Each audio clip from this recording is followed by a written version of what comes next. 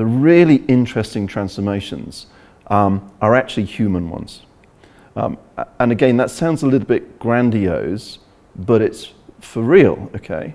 So, so the first thing I did when I joined two and a half years ago, and it was a disastrous statement, so bear with me.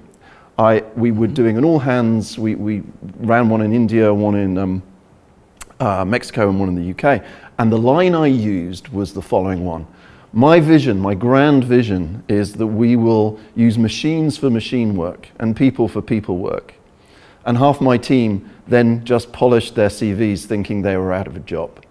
They were incredibly threatened by the idea of that this is all, all a push to optimizing and, mm-hmm. uh, and reducing cost. And of course, the, the much more sophisticated, more exacting, and more real piece there is I don't want to hire all this incredible intellect and then having, having, using it for really dumbass things.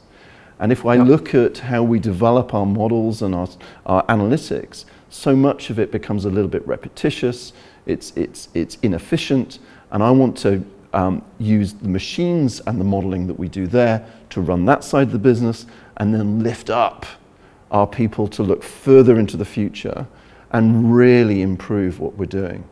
And then the other piece of which is also a human transformation, which is again mispositioned, it sounds threatening, which is just making our resources fungible.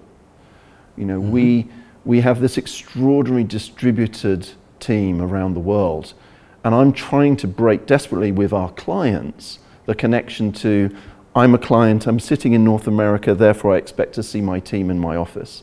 To you're a client of ours, why wouldn't you want to harness all the expertise of the 1,200 people that work for me around the world in every continent? Mm-hmm. And one of the, the interesting side effects of changing working patterns over the last six months is that message is finally beginning to land because the addiction to seeing people face to face has frankly been broken out of necessity.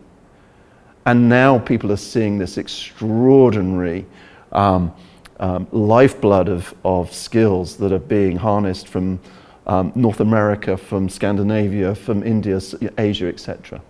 So that's the other, the other piece.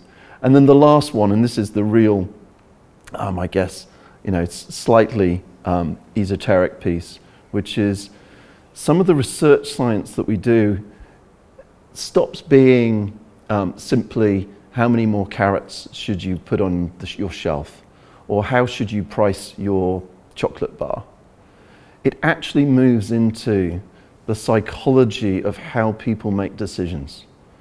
And our behavioral psychology work that we do um, and we sponsor a number of PhDs and we publish papers. In fact, we just won a prize in a very, a very significant journal on some of the work we did on topic modeling. Um, is right on the edges of exploring how we make decisions as humans, and not just to be harnessed for you know, uh, uh, selling more stuff, but to really change the experience of a consumer to, mm-hmm. um, and fit how we make decisions to what they buy rather than forcing them to buy and then make them make a decision.